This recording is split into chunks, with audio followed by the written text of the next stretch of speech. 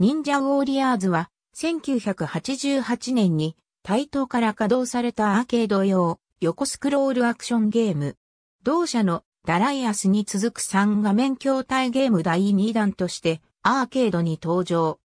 開発は台東中央研究所熊谷分室が行い、ゲームデザイン及びシナリオは辻野浩二、ディレクターは後にオペレーションサンダーボルトなどを手掛けた尾形正樹が担当している。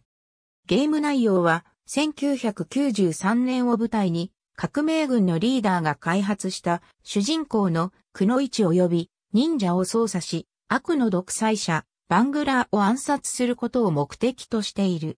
ダライアスと同型のボディソニックを内蔵した筐体で、シート下のスピーカーから迫力のある重低音のサウンドを体感できる仕様となっている。使用音源はヤマハの YM2610。楽曲は同社サウンドチームズンタタの小川こと小倉常義がメインで担当。ステージ1.6の BGM、ダディマルックは、サビに津軽三味線のサンプリングを用いたソロパートを導入するなど当時としては他に類を見ない手法が使われている。1989年に PC エンジンに移植されたほか、同年に欧州ではアミーガ、アンストラット CPC、アタリ ST、ZX スペクトラム、1990年にコモドール64、1993年にはメガ CD に移植された。2006年には携帯電話アプリゲームとして EG アプリ、i アプリ、V アプリの携帯電話3キャリアにおいて配信されたほか、2008年にはアーケード版に忠実な形で携帯電話各キャリアにおいて配信された。PC エンジン版は2006年に Windows 用ソフトとしてアイレボにて配信されたほか、2008年に Wii 用ソフトとしてバーチャルコンソールにて配信された。アーケード版は2017年にプレイステーション4用、2019年に任天堂スイッチ用ソフトとしてアーケードアーカイブスにて配信された。アーケード版はゲーム誌、ゲーメストの企画、第2回ゲーメスト大賞にて大賞4位、ベストグラフィック賞6位、ベストエンディング賞2位、ベスト VGM 賞1位を獲得したほか、ゲーメストムック、ザ・ベストゲームでは33位を獲得した。後に、リメイク版となる、スーパーファミコン用ソフト、ザ・忍者ウォリアーズ・アゲーンが発売された。全6ステージ構成。二人同時プレイ可能。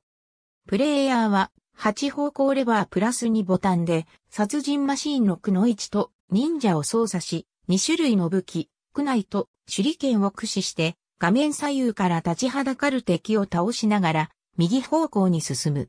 プレイヤーはライフ制となっており、敵から攻撃を受けるとライフゲージが減少し、ライフゲージが尽きる、またはタイムが0になるとゲームオーバーとなる。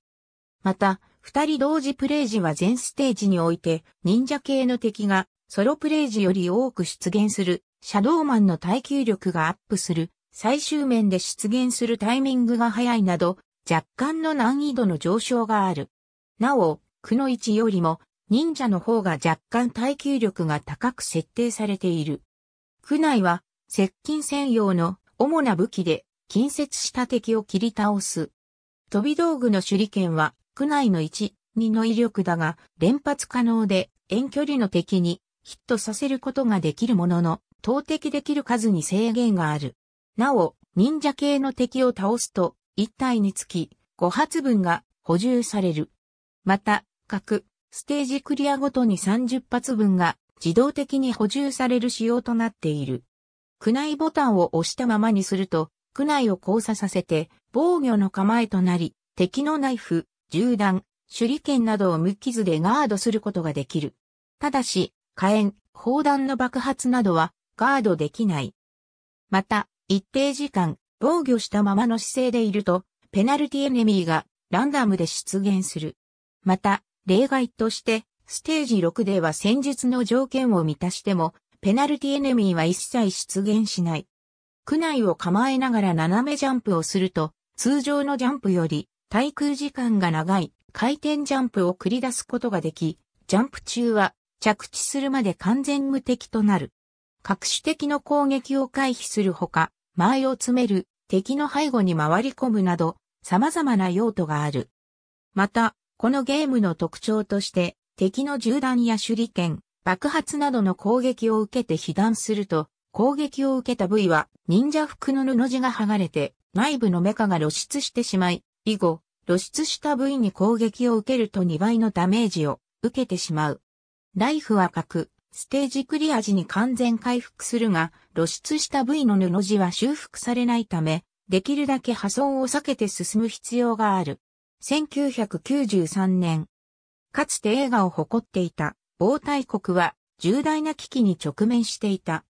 悪の独裁者、バングラーが邪悪な魔力により大統領に就任してからというもの、あらゆる犯罪が国中に氾濫し、人々の意識は洗脳され、社会は荒廃してしまった。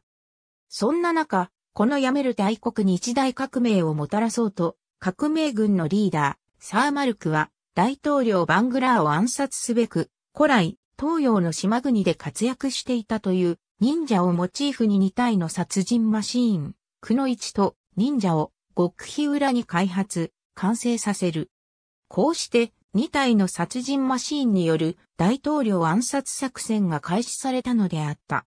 各ステージに出現する敵は基本的に兵士、忍者、動物、ロボットの4種で構成されている。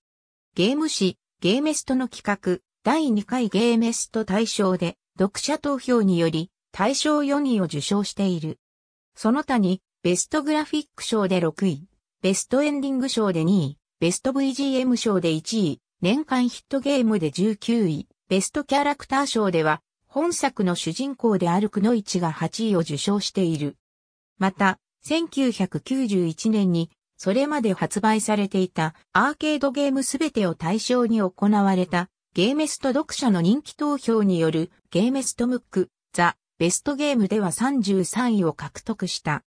ゲーム誌、ファミコン通信のクロスレビューでは5.88.6で合計27点、マルカチ PC エンジンでは9.88.10の合計35点、PC エンジンファンの読者投票によるゲーム通信簿での評価は以下の通りとなっており21.94点となっている。また、この得点は PC エンジン全ソフトの中で166位となっている。ゲーム誌ファミコン通信のクロスレビューでは5.74.4で合計20点、メガドライブファンの読者投票によるゲーム通信簿での評価は以下の通りとなっており20.5点となっている。ありがとうございます。